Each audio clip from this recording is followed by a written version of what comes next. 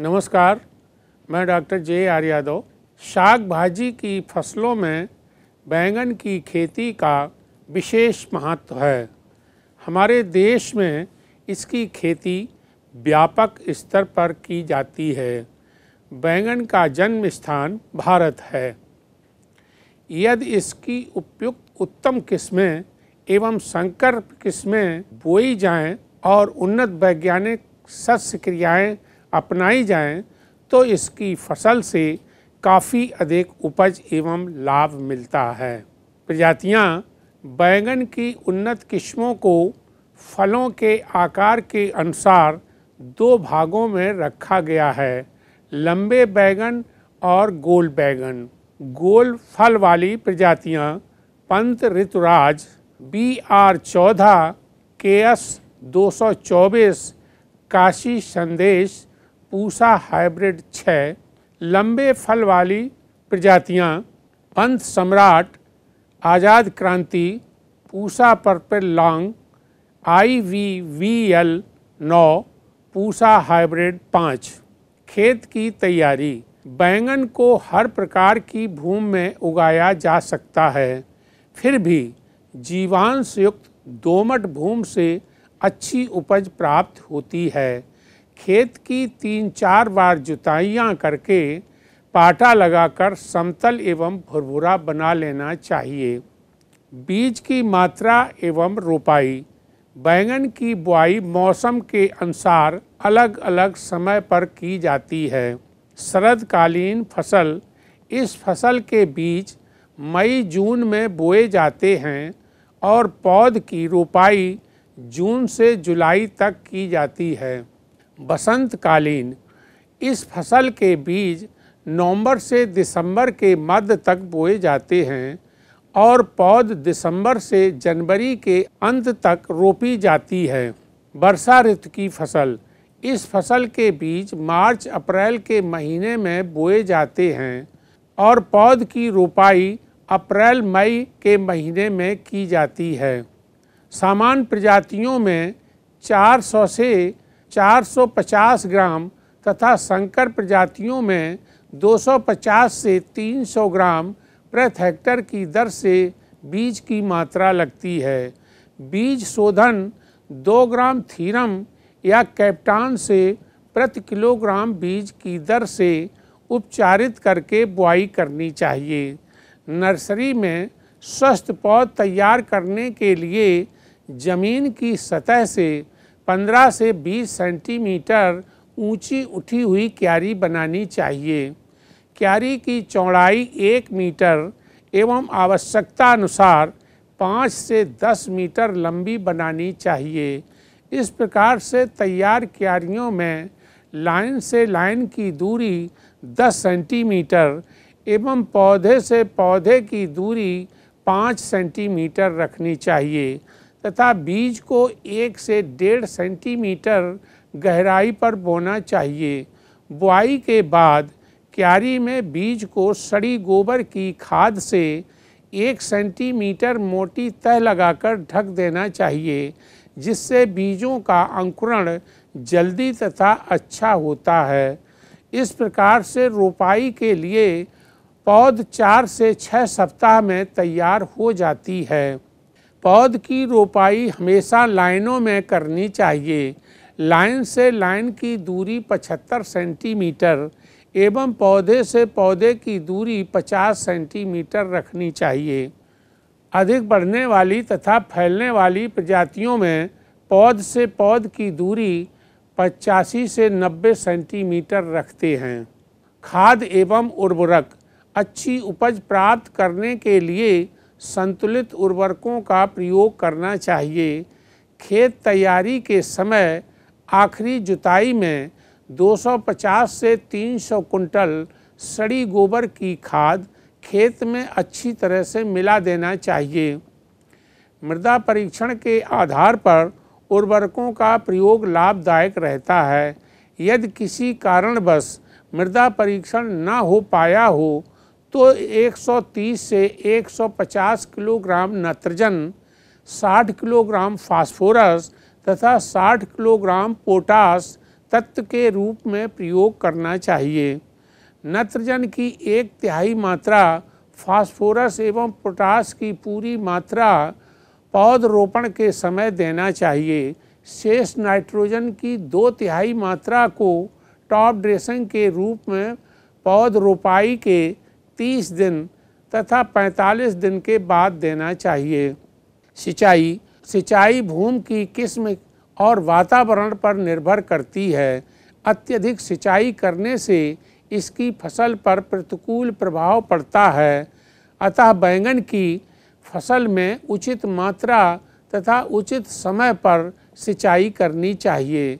बैंगन की पौध रोपण के बाद पहली सिंचाई हल्की की जाती है। यदि संभव हो तो हजारे की सहायता से पौधों के थालों में दो तीन दिन तक सुबह और सायंकाल पानी देना चाहिए। बाद में आवश्यकता अनुसार गर्म मौसम में सात से आठ दिन के अंतराल पर तथा सर्दी में बारह से पंद्रह दिन के अंतराल पर सिंचाई करनी चाहिए। वर्षा ऋतु में प्रायः सिंचाई की आवश्यकता नहीं पड़ती है। फिर भी यदि इस समय काफ़ी दिनों तक पानी न बरसे तो आवश्यकता अनुसार सिंचाई करनी चाहिए। यदि बरसात में, फ़सल में आवश्यकता से अधिक पानी एकत्र हो जाए तो पानी को खेत से निकालने का उचित प्रबंध होना चाहिए। खरपतवार नियंत्रण, बैंगन की पौध को रोपने के 50 से 60 दिन तक खेत को खरपतवार रहित रखना चाहिए। इसके लिए दो तीन निराई गुड़ाई की आवश्यकता होती है। जबकि वर्षाकालीन फ़सल में तीन चार निराई गुड़ाई करनी चाहिए। बैंगन का पौधा तेज़ी से वृद्ध करता है, अतः फल लगने पर पौधे ज़मीन पर न गिर सकें। इसके लिए पौध रोपण के 30 से 35 दिन बाद निराई गुड़ाई करते समय पौधों की जड़ों के पास मिट्टी चढ़ा देना चाहिए। रोग नियंत्रण, बैंगन में फॉर्मोप्सिस, अंगमारी, फल सड़न, छोटी पत्ती रोग, पत्तियों के धब्बे तथा जीवाणु उकठा रोग लगते हैं। फोमोप्सिस अंगमारी तथा फल सड़न रोग में पत्तियों पर छोटे छोटे गोल भूरे धब्बे बन जाते हैं। तथा रोगी पत्तियाँ पीली पड़कर सूख जाती हैं। फलों पर धब्बे में धूल के कणों के समान भूरी रचना दिखाई पड़ती है, जो बाद में बढ़ जाती है और वहाँ पर गूदा सड़ जाने के कारण गहरा दिखाई देने लगता है। इसके नियंत्रण के लिए बीज की बुआई, बीज शोधन करके करनी चाहिए। खड़ी फ़सल में ब्लाइटॉक्स 50 या मैंको जैव की दो दशमलव पाँच ग्राम मात्रा प्रति लीटर पानी में घोलकर छिड़काव आठ से दस दिन के अंतराल पर करना चाहिए। छोटी पत्ती रोग, यह रोग माइक्रोप्लाज्मा के कारण होता है। इस रोग में पौधों की पत्तियाँ आकार में काफ़ी छोटी रह जाती हैं। रोगी पौधों में प्रायः फूल नहीं बनते हैं। इनके नियंत्रण के लिए रोगी पौधों को उखाड़कर जला देना चाहिए। रोग फैलाने वाले कीट को नष्ट करने के लिए मेटासिस्टॉक्स की शून्य दशमलव एक प्रतिशत घोल का छिड़काव करना चाहिए। पत्तियों के धब्बे, यह रोग फफूंदी के कारण होता है। इस रोग में पत्तियों पर अनियमित आकार के भूरे धब्बे बन जाते हैं।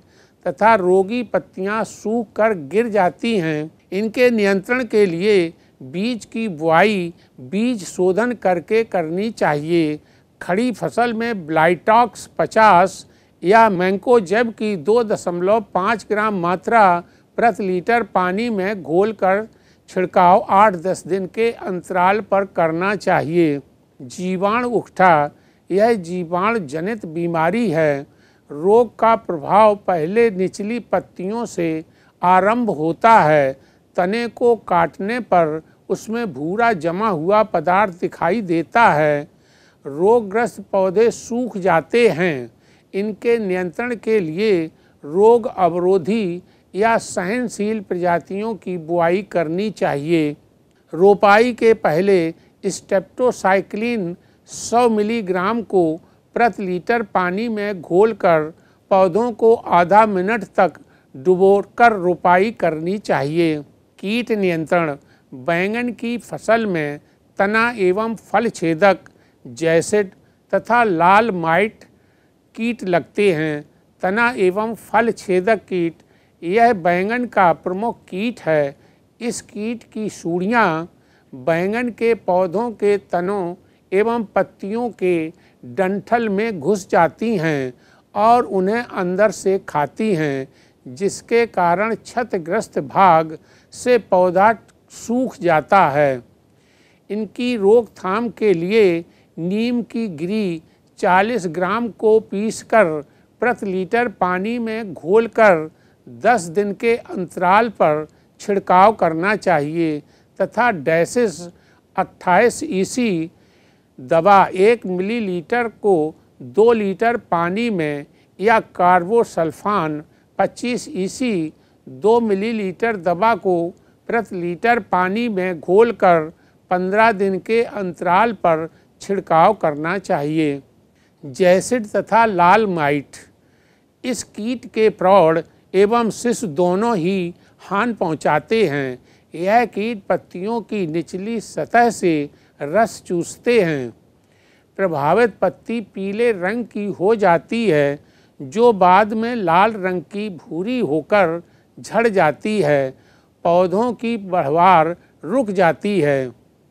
इसकी रोकथाम के लिए फ़सल की शुरू की अवस्था में मेटासिस्टाक्स 25 ईसी या साइपरमेथिन का एक दशमलव पाँच मिलीलीटर प्रति लीटर पानी में घोलकर छिड़काव करना चाहिए।